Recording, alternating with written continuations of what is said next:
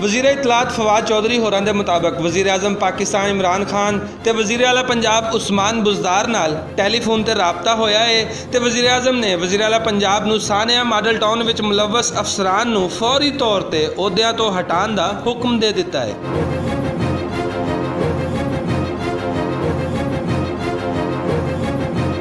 ਵਜ਼ੀਰ ਆਜ਼ਮ ਵੱਲੋਂ ਇਹ ਹਦਾਇਤ ਪਾਕਿਸਤਾਨ ਅਵਾਮੀ ਤਹਿਰੀਕ ਦੇ ਸਰਬਰਾਹ ਡਾਕਟਰ ਤਾਹਿਰੁਲ ਕਾਦਰੀ ਨਾਲ ਟੈਲੀਫੋਨ ਤੇ ਹੋਣ ਵਾਲੀ ਗੁਫ਼ਤਗੂ ਤੋਂ ਬਾਅਦ ਦਿੱਤੀਆਂ ਗਈਆਂ, ਜਿਹਦੇ ਵਿੱਚ ਵਜ਼ੀਰ ਆਜ਼ਮ ਨੇ ਮਾਡਲ ਟਾਊਨ ਸਾਨੇ ਵਿੱਚ ਕਤਲੇਆਮ ਦਾ ਨਿਸ਼ਾਨਾ ਬਣਨ ਵਾਲਿਆਂ ਨੂੰ ਇਨਸਾਫ ਦੀ ਫਰਾਹਮੀ ਦੇ ਅਜ਼ਮ ਦਾ ਵੀ ਇਜ਼ਹਾਰ ਕੀਤਾ। ਪਾਕਿਸਤਾਨ ਅਵਾਮੀ ਤਹਿਰੀਕ ਹਾਲੀਆ ਦਿਨਾਂ ਵਿੱਚ ਲਾਹੌਰ ਹਾਈ ਕੋਰਟ ਵੱਲੋਂ ਆਉਣ ਵਾਲੇ ਮਾਡਲ ਟਾਊਨ ਸਾਨੇ ਉੱਤੇ ਫੈਸਲੇ ਨੂੰ ਸੁਪਰੀਮ ਕੋਰਟ ਵਿੱਚ ਚੈਲੰਜ ਕਰਨ ਦਾ ਇਰਾਦਾ ਵੀ ਰੱਖਦੀ ਹੈ